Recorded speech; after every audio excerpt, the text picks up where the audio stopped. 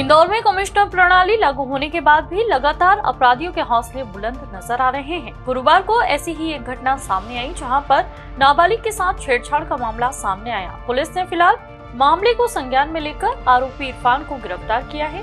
देखिए, क्राइम भाषी के लिए इंदौर से चंकी वाजपेयी की रिपोर्ट। एक सोलह वर्ष की बालिका है, जो एरोडम क्षेत्र में रहने वाली है। उसके संबंध में बात आई थी बरेंद्र कार्यकर्ता कुछ शिकायत की थी।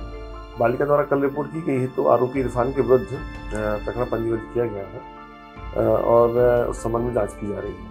सर उसके मोबाइल को भी छानबीन करी गई तकरीबन आठ महिलाओं के बारे में जानकारी लगी थी। किस तरह से जाँच पड़ताल की जा रही है? ये जो आठ महिलाओं के बारे में जो जानकारी प्राप्त नहीं हुई है क्योंकि उसके मोबाइल को निरीक्षण कर लिया जाएगा और यदि कोई बात सामने आती है तो संबंध में बात की जाएगी। सर किन धाराओं में प्रकरण दर्ज किया है? ये तीन छिहत्तर के अंतर्गत दर्ज हुआ है प्रकरण। जिहाद और इस धाराओं में लव जिहाद अभी इस संबंध में बात नहीं बताई उन्होंने बालिका द्वारा।